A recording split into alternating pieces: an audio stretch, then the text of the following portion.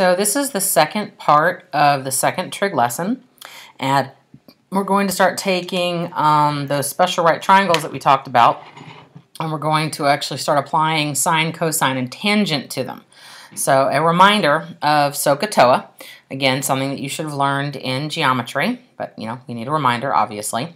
Um, SOHCAHTOA basically gives us the directions for sine, cosine, and tangent for a right triangle.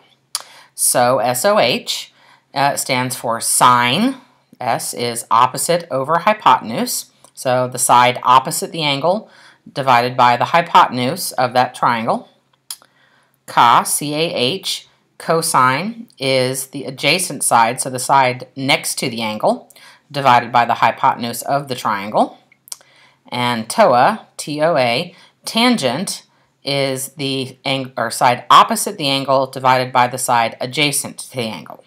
Okay, and we're actually going to apply those real quick, and it's literally just writing them as a fraction. We're going to go ahead and reduce when we can, but we're just going to go ahead and write them as a um, simplified fraction.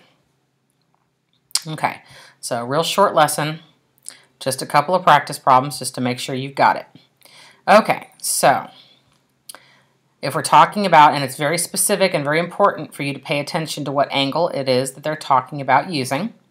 If I want the sine of A, then I need the side that is opposite A over the hypotenuse of the whole triangle. So that would start off as 6 over 8, and it would get reduced. Since we're talking about fractions in simplest form, it would be simplified to 3 fourths. Okay? So if I want the cosine of A, so cosine again being adjacent, that's the, the, the side next to the angle, right, over the same hypotenuse of that whole triangle. That's going to be 3 over 8, and that does not simplify any further. All right, if I want the tangent, and this time I'm looking at the tangent of B, tangent is opposite the side that's opposite, the side that does not touch it at all, right? Opposite over adjacent, the side that's next to the angle, attached to the angle. And that's going to be 3 over 6, which simplifies down to a half. Okay?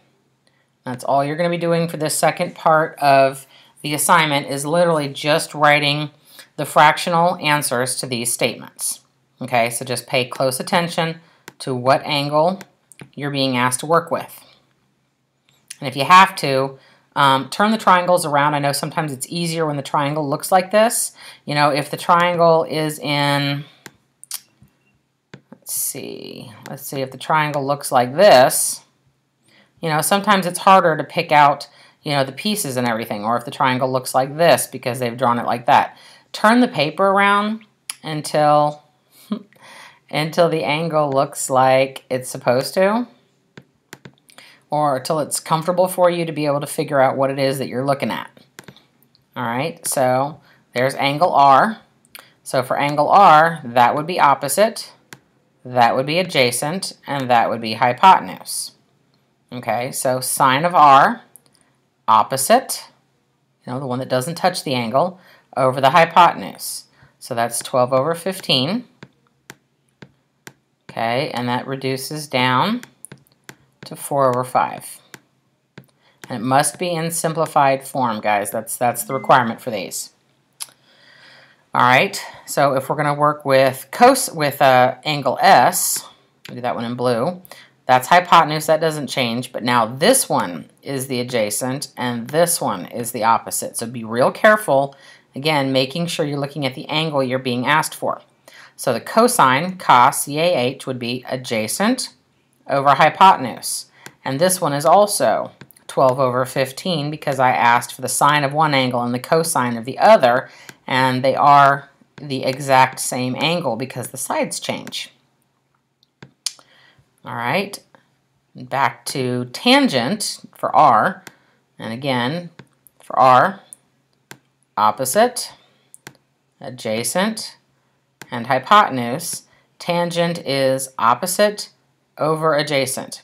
12 over 7. It is tangent is the only angle that's actually allowed to be bigger than 1 as far as an improper um, fraction, and you can just leave it that way.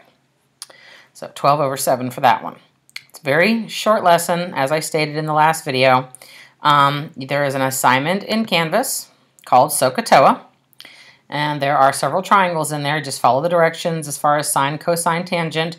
Please make sure that you are simplifying your fractions. Very, very important okay? Tomorrow's, or, you know, today, depending on if you're watching this uh, Tuesday or Wednesday, the next lesson, which is unit circles, depends entirely upon this. So whether or not you chose to do this um, the end of, of class Tuesday or the beginning of class Wednesday is on you, but by the end of class today, you will be doing the unit circle. All right, so take it easy. I will talk to y'all later.